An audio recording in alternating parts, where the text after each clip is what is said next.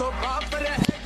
अरे बेटा दुश्मन भी सामने से जाते पर राजेश भाई का कुछ उखाड़ नहीं पाते इसलिए कहता बेटा झूला झूल मगर राजेश भाई को मत बोल है ना